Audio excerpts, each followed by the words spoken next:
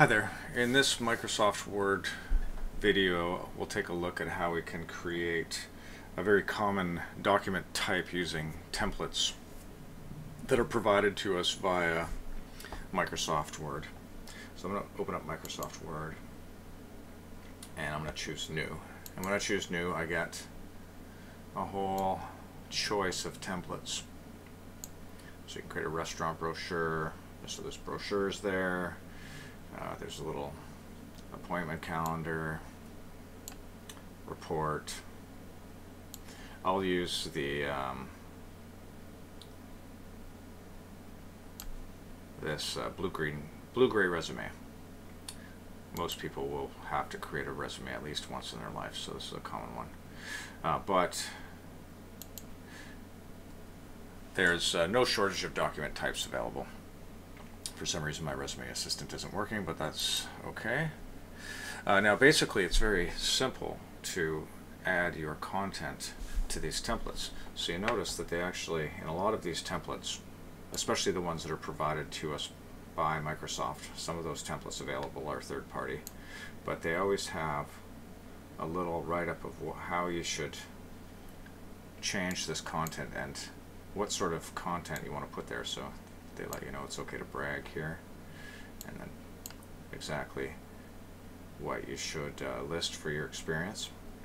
So first of all, I'll quickly change my picture so it tells you how to right here. So if you just right click right on the picture and you choose fill and then you just choose your picture to fill it with.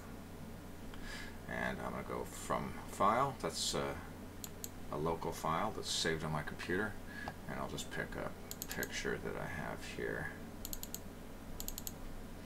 of myself.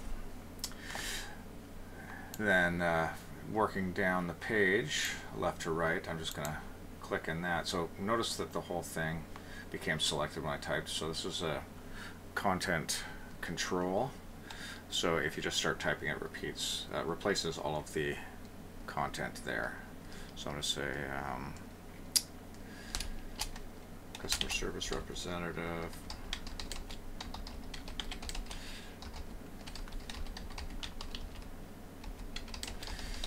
With 30 years of scholastic.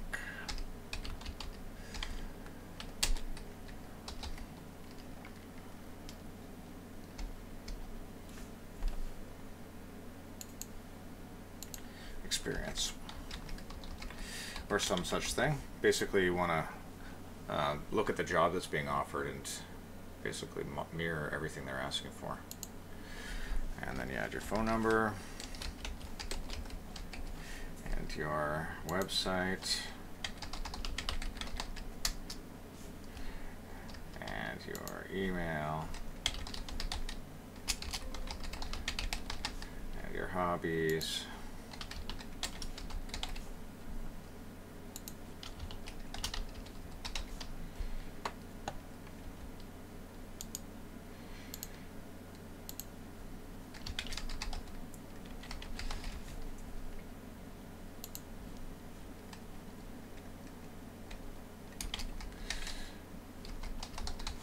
And then uh, you'll notice in your education it tells you exactly what type of content to put in there as well. So I'll say uh,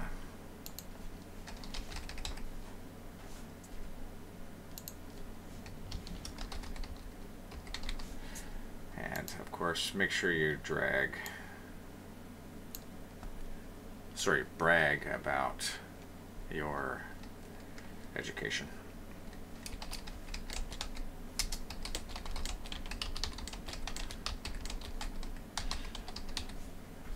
Uh, now, notice for work experience here, it says uh, describe your responsibilities and achievements in terms of impact and results. So uh, that's um, a good way of describing your experience, basically features and benefits.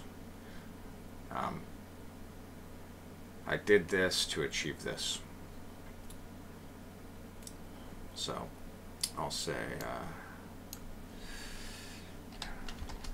utilized customer service skills to grow class size or something like that and maximize profit.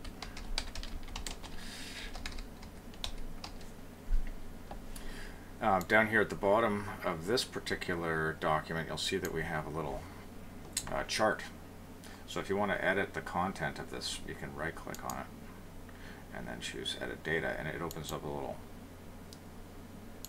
Excel spreadsheet.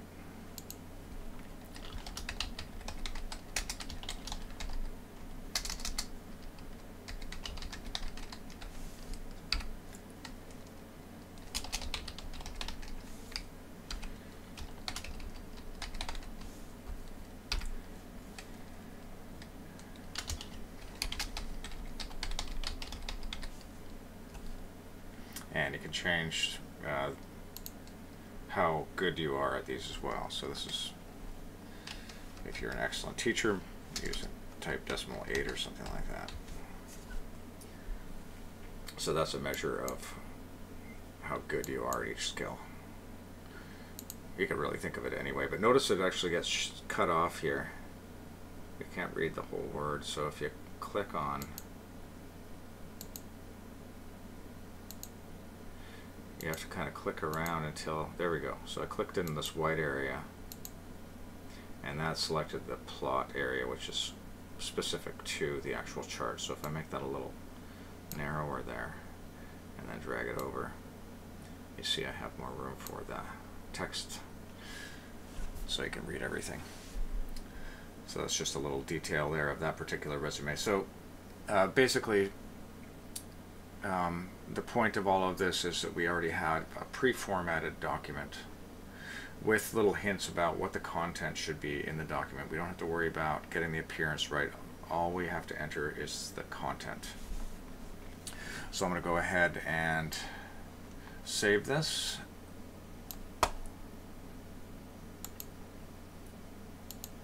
And I'll put it in uh,